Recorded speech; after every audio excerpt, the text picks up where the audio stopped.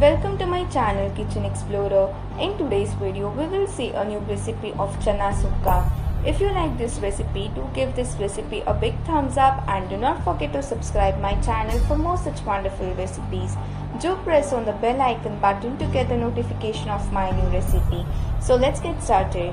Here I have taken one and a half cup of chanas Soaked it for 4 to 5 hours and by adding salt I had taken 5 whistles in the pressure cooker. To a kadai add 2 teaspoon of oil. Now add 6 red chilies. Saute until the slight color changes.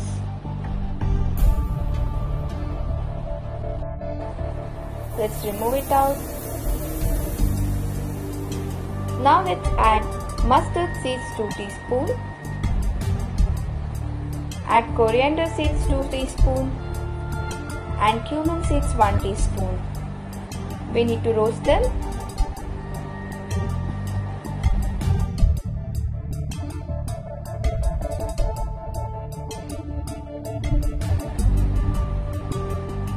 Yeah, now let's take it out.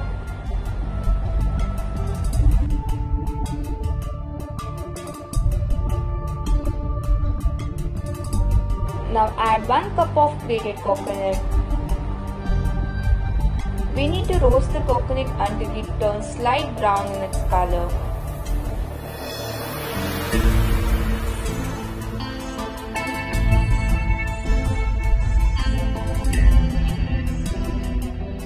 See the color change and now let's take it out.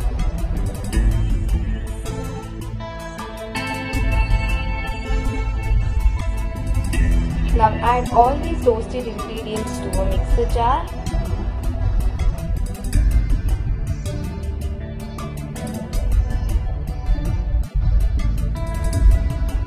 Now add 1 4 teaspoon of turmeric powder and we need to make a fine powder of, of it. See the fine powder?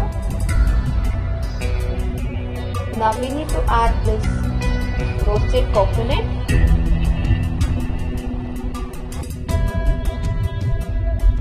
We need to grind it for 5 seconds.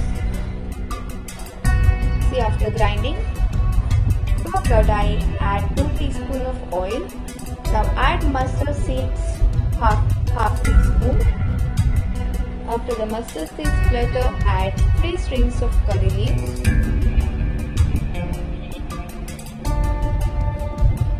Add tamarind water 1 tablespoon.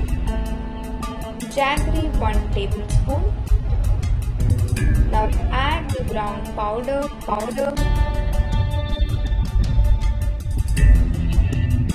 Mix everything well.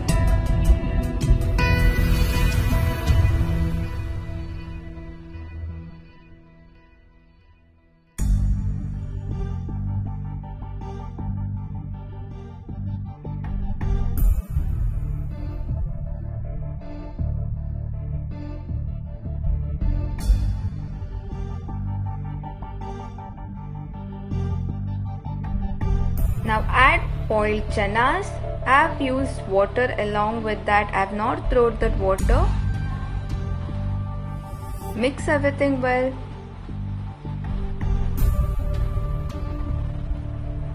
Now add some salt as per your taste. Remember that we had already added little salt while boiling the chanas. So be careful while adding the salt. salt. Put the lid and bring it to one boil.